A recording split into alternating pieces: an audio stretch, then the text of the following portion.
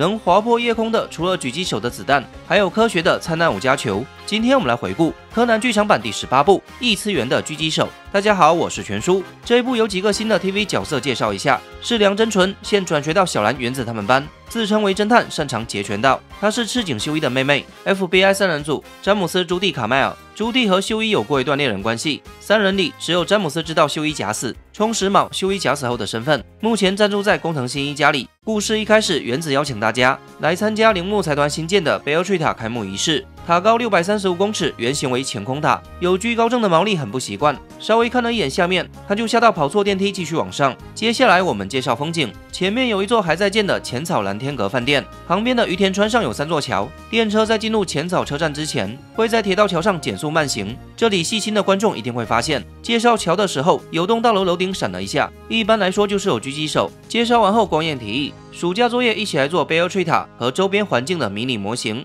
此时，旁边有人正向一对美国夫妻推销塔附近不值钱的老旧房子，是良则躲在后面侦查推销房子的人。随后，一颗子弹划破晴空，推销的男子当场毙命，凶手留下一个空弹壳和四字向上的头字。柯南确认凶手位置后，立马去追，他一个不小心手机还掉了，所以玩滑板的时候不要看手机啊！在习以为常的科学动作之后，柯南锁定了一个嫌疑人，他用侦探徽章联系小哀，杂讯很大，顺口骂了一句烂东西。柯南告知摩托车的情报，小艾叫博士联系警方。徽章的通讯范围很快到了极限，嫌疑人也发现了柯南在跟踪。在拐了一个路口之后，他竟然朝柯南射击，闪躲之时，柯南差点被车压住，好在世良骑着摩托过来救场，警方这边也开始支援。而那个嫌疑人竟然还丢了手榴弹，擦身而过的时候，柯南甩了追踪器，对方逃到码头准备换交通工具，发现世良他们追上来后又开始反击，多亏 FBI 三人组及时赶到支援，嫌犯最终落水失踪。事后大家开会交流情报，目前认定嫌疑范围前美国海豹特种部。队狙击兵杭特，他战功显赫，于二零零五年获得银星勋章，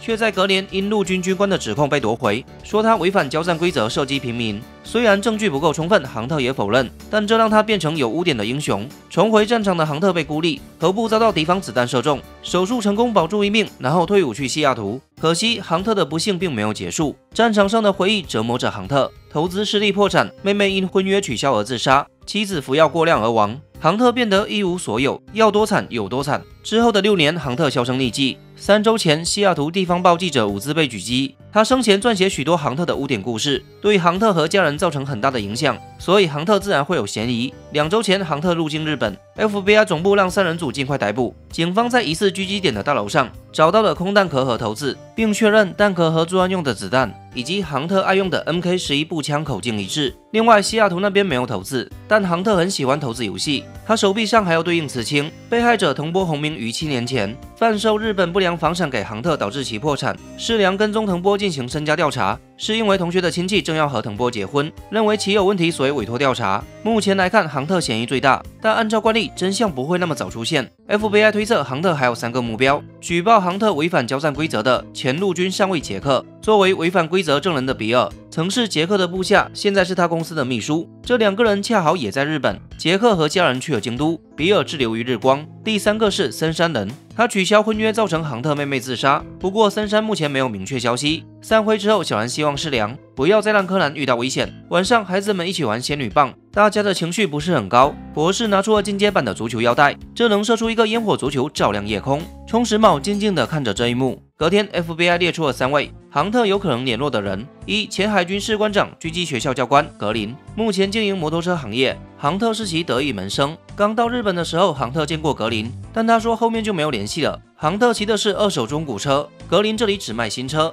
他认为杭特违规是事实，也是无奈。二前海军陆战队上士凯文，现经营军用品店。杭特曾在战场上救他一命，但凯文说自己拿不到真枪，认为杭特违规是捏造的，是那个杰克恶意举报。凯文还说，如果杭特向他求助，那他一定会帮助杭特。三前司令官，现为旅居日本美兵的咨询顾问马克，但他说没见过杭特。他表示，如果凶手是杭特，那发现就应该击毙。他还愿意借出自己的司机。前海军陆战队狙击手卡洛斯，战场上的成绩不比杭特差多少。综合来看，以上这三位都说自己没有问题。另一边，孩子们准备制作模型。博士拿出进化版的侦探徽章，柯南那句烂东西被他记住了。新版加了灯，提高了通讯品质，不过由于灵敏度太高，打开之后会出现高频的蚊音，年纪越大越不容易听到。柯南让博士先不用修，他随后去找警方领自己的手机。而在图书馆待了一天的世良，终于找到森山的资料。原来他结婚之后随妻改姓。傍晚，因为嫌疑人是狙击手，卡麦尔感慨要是秀一在就好了，这就勾起了朱棣的回忆。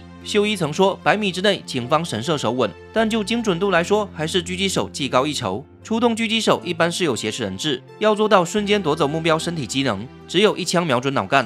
他还说过，只要自己在，就不会让朱棣遇到这样的危险。接着，是良约柯南去找森山。凶手在贝尔水塔附近又开始行动。森山开车出来的时候被一枪毙命。柯南和世良又去追击凶手。根据坡道角度计算路射角，凶手应该在高的那栋楼。可惜他们在一楼错过凶手。屋顶有发现空弹壳和投子三。警方也是连夜召开会议。经调查，藤波喜欢带人去高处推销房子。他走后门大量取得贝尔水塔开幕期间门票，每天都在同一位置推销。森山则是每天会在同一时间去接料理教室下课的妻子。案发的时候，门与监视器都遭到破坏。提前踩点，收集情报，缜密制定计划，这全是海豹部队狙击手的作风。针对投资数，佐藤提出倒数的推测，那么剩下两位肯定是杰克和比尔。两地陷阱已经通知他们，他们也更改了原本的出行计划。镜头此时转到杭特这边，桌上还有两枚子弹。令人没想到的是，杭特竟然遭到了狙击，对方第一枪没有打中，杭特索性回了一枪也没有打中。他微笑的迎接第二枪，就这样，杭特挂了。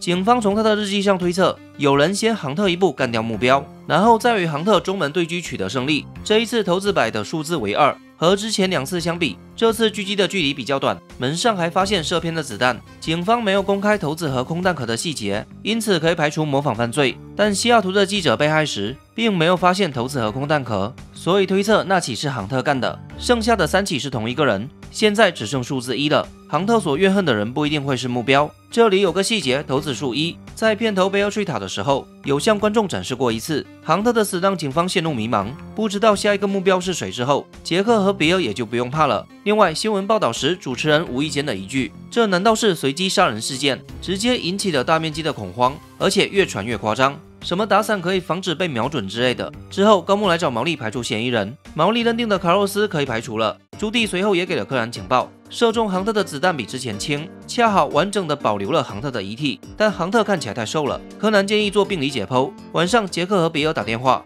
杭特的死让杰克松了一口气，比尔这边则还是有些担心。从对话中可以得知，杰克曾让比尔配合构陷杭特。电话打完，比尔收到一个快递，上面写着：“你所做的事情我都清楚，关于杭特违规的事情还有细节要确认。车票给你准备好了，自己选。不要告诉杰克，上面署名的是马克。”比尔没有怀疑的去了前草。隔天，柯南和世良在浅草研究案情。朱棣打来电话告知结果，杭特脑中还留有当年的子弹碎片，胃中检测出了大量止痛药，他应该连视力都大幅减退。那么西雅图的记者就不是杭特所为。这样的话，与杭特对狙的意义只剩一个。柯南在打电话给高木后得知，比尔坐上了去浅草的特快列车，还有三分钟即将到站。那辆列车会在桥上减速慢行，比尔正是下一个目标。凶手就是瞄准了这个时候。随后，柯南发现凶手将车停在另一座桥上，柯南直接来了一个飞天逆转。他用滑板和足球干扰了射击，并挥手提示比尔有情况，结果却被凶手列为目标。世良及时过来扑救，自己中弹。凶手的第二枪还是击中比尔。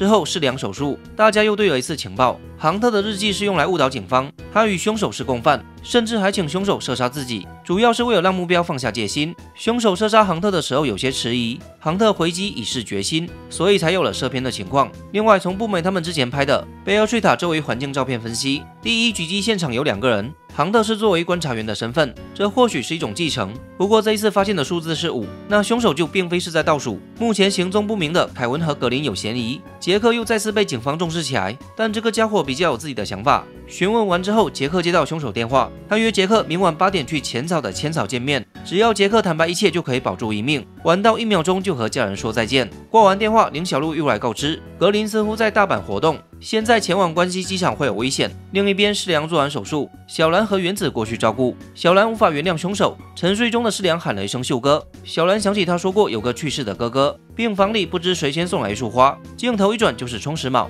木木这边此时告知了詹姆斯，杰克自行离开不见了。朱棣又把这个事情告诉柯南，詹姆斯则给另一个人发邮件告知，资料传送完毕，到时就全靠你了。隔天清晨，马克让卡洛斯去找杰克，杰克向马克要了狙击枪，马克让卡洛斯传达。他不想追究事件起因和从前的事情。凶手假借马克的名义给比尔写信。遇害前一天，比尔就向马克坦白一切，只希望自己可以减刑。杭特被构陷违规的始作俑者是杰克。马克现在希望杰克可以干掉凶手，先要维护起美方的面子。比尔遇害的事情报道之后，随机杀人事件的言论也不成立了。杰克提前来到千草财店，他预判凶手会狙击的位置，并找了另一处狙击凶手的地方。这一段画面有两个看点，一个是无处不在的背景贝尔翠塔，另一个是第十一部剧场版神海岛的广告。世良醒了之后，柯南前来探望。世良提出了一个疑点：为什么在桥上狙击的时候，凶手要用容易被发现的镭射瞄准器？柯南因此想通杭特的死因。其实，杭特如果自杀，会更容易让警方卸下防备。他选择中门对狙的目的是让凶手成为真正狙击手的最后考验。第一次狙击是 MK 十一的最远射程，第二次是夜间移动目标，第三次考验是钢铁般不动摇的意志。讲到这里，步美他们也来了，他们还带了等比例缩小的暑假作业。由于有些地方在塔上的时候没有拍到。孩子们希望可以再上去一次，虽然目前整修完毕还没有对外开放，但原子表示可以让大家包场。此时，元太无意间的一句话让柯南想到一个关键：投资的讯息不能从平面看，从三维空间看会发现狙击地点是刻意安排的。算上贝尔睡塔会形成正五边形。充实卯这时也想到问题关键。柯南出去时接到朱棣电话，格林已经在大阪被捕，还有答应过杭特作为诱饵。而在杭特失去家人之后，有人目睹他和一位东洋男子住在一起，那么凶手应该就是凯文了。柯南让朱棣他们先去贝尔翠塔，自己则前往下一个可能的狙击地。经过对比，柯南解出投资的含义。凯文与杭特想让杰克看到的是杭特被夺走的银星勋章的星形。柯南同时发现贝尔吹塔上的凯文。杰克白天踩的点都在预料之内。凯文还在窗户弄了一个五角星，多亏柯南的关键一球把杰克踢飞，但这也让凯文对他起了杀意。果然天黑容易犯错，屋顶会着火，柯南无处可躲，单脚受伤。好在冲时卯从更远的浅草蓝天阁一发打伤了凯文，这让凯文想起杭特曾提到过，FBI 里被称为银色子弹的顶尖好手，他比杭特还要厉害，但他他应该挂了才对。看到充实帽，柯南稍微放心。柯南还告知朱棣，凯文就在塔上。不过此时的凯文还能行动，从他的回忆中可以得知，杭特于战场上多次救过凯文。杰克嫉妒杭特的成绩，将其陷害。在凯文要求重新调查的时候，杰克指使比尔射杀杭特。是凯文将杭特脑袋里取出的子弹拿去对比，才发现真相。但证据很快又被消灭，所以才有了这样的一出复仇计划。凯文此时准备按照原计划逃离。柯南打电话叫小兰带孩子们下去，结果步美先被抓去做人质，原子还被打晕，朱棣和卡麦尔也不好乱动。这种时候就需要狙击手了。凯文炸坏电力设备，准备逃离。柯南发现他还准备了夜视镜，注意，凯文开枪的时候是遮住眼睛的，火光对夜视镜来说过于耀眼。柯南打电话告知小孩计划，目的是为了给充实卯提供视线。充实卯也相信柯南会有办法。三十秒之后，孩子们打开侦探徽章，他们朝着文音发出的方向扔出了发光的手机和手表。步美被成功救下，不过前来支援的小兰不幸摔倒，柯南也顾不了那么多了，绑住吊带直接往下跳，加成增强踢力球鞋再跳上去，并于空中射出超远距离的烟火足球，恰似一颗划破夜空的流星。充实卯的子弹随后跟上，凯文手上的枪被打飞，小兰一套连招将其制服。柯南这边也没有什么事情。事情结束后，詹姆斯传来消息，充实卯用修一的声音回答收到。事情到此终于结束，杰克过去的罪行被揭发，柯南被抓去完成模型最后的上色工作。好了，我是全叔，感谢收看，我们下期见。